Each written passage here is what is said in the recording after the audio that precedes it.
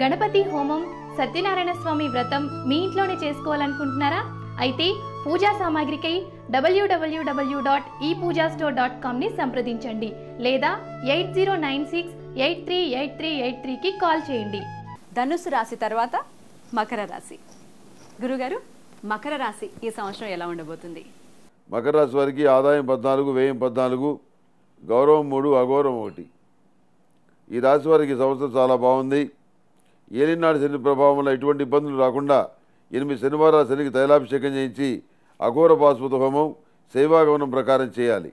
ఆర్థికంగా ఎంత ఆదాయం వచ్చినా దాచుకునేది ఏమీ ఉండదు. రావాల్సినటువంటి డబ్బుకు ఖర్చు రెడీగా ఉంటుంది. ముఖ్యమైనటువంటి పనులు విజయవంతంగా పూర్తి చేస్తారు. శుభకార్యాలు సానుకూల పడతాయి. ఆ, ఆరోగ్య పరిస్థితి బాగున్న ఆరోగ్యపరంగా కొన్ని జాగ్రత్తలు అవసరం అవుతాయి గృహ నిర్మాణ సంబంధమైన వ్యాపారాలు కొంత నతనడగా నడిచిన లాభాలకు మాత్రం ఇబ్బంది ఉండదు. ఆర్థికపరమైన పురోగతి బాగుంటుంది. స్థిరచరాస్తులు వృద్ధి చేస్తారు. పట్టుదలతోటి కృషి చేసి సానుకూలమైన ఫలితాలు సాధిస్తారు. సమాజంలో మీరంటే ఏమిటో నిరూపించుకోగలుగుతారు. గతంలో మిమ్మల్ని కించపరిచిన వారే గౌరవించాల్సిన పరిస్థితి ఏర్పడుతుంది. రహస్యంగా స్థిరాస్తులు కొనుగోలు చేస్తారు. వృత్తి ఉద్యోగాల పరంగా ఉన్న పోటీని సమర్థవంతంగా ఎదుర్కొంటారు. మహాలక్ష్మీదేవి పూజలో లక్ష్మీ సందనాన్ని ఉపయోగించండి. లక్ష్మీచంద్రాన్ని ధరించండి అసూయాగ్రస్తమైన శత్రువర్గంతో ఇబ్బందులు ఏర్పడిన వాటిని మీరు అధిగమించగలుగుతారు.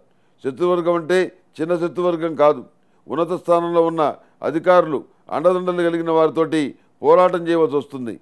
మీ మిత్రవర్గం మీకు సన్నిహితంగా చెప్పుకునేవారు. మీ పోరాటంలో మీరు ఓడిపోవాలని చెప్పని కోరుకుంటారు. శైలసారథ్యం చేస్తారు. దైవానుగ్రహం వల్ల మీరే విజయం సాధించగలుగుతారు. మీ ఉనికిని మీ స్థానాన్ని ఇబ్బంది లేకుండా జాగ్రత్తలు తీసుకుంటారు. ప్రేమగా చూడటమే ధర్మం అవుతుంది.